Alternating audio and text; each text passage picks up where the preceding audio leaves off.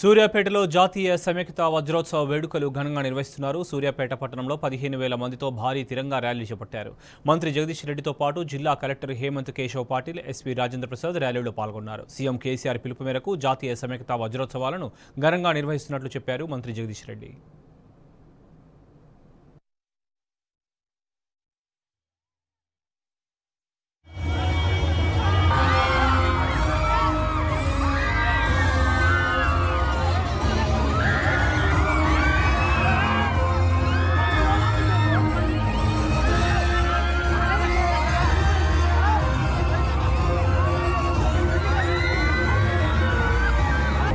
దశాబ్ద ఉద్యమాన్ని భుజాలపై మోసి